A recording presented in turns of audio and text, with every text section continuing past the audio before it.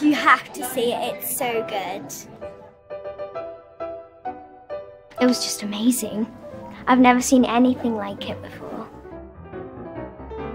I really like the animation and the dancing and how they interacted. You, you stop realizing what's what, what's real and what's imaginary, and there's some really glorious moments in there, and uh, it, was just just utterly magical. The first time that you really understand kind of the concept and how it's all going to work, and it's just astonishing, really, to see it all come to life. I thought the music was fantastic. I loved the visuals.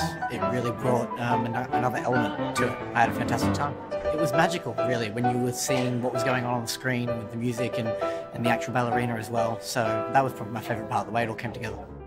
What you really experience is uh, is beyond belief. Really, I mean, wonderful, wonderful original. I have to say. She was fantastic.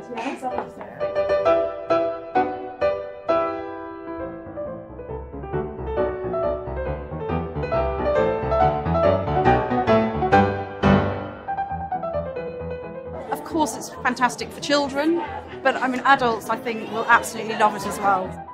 Absolutely loved it. I thought it was beautiful. It would really told the story very well, and I mean the uh, the artistic direction was excellent. Um, there was a lot of talent on the stage, and the pianist was just magnificent. I enjoyed it because it was very different to like all the uh, all other musical concerts. It was truly something new and outstanding. It's something I've never seen before. Uh, incredibly original. Um, I mean, astounding, really.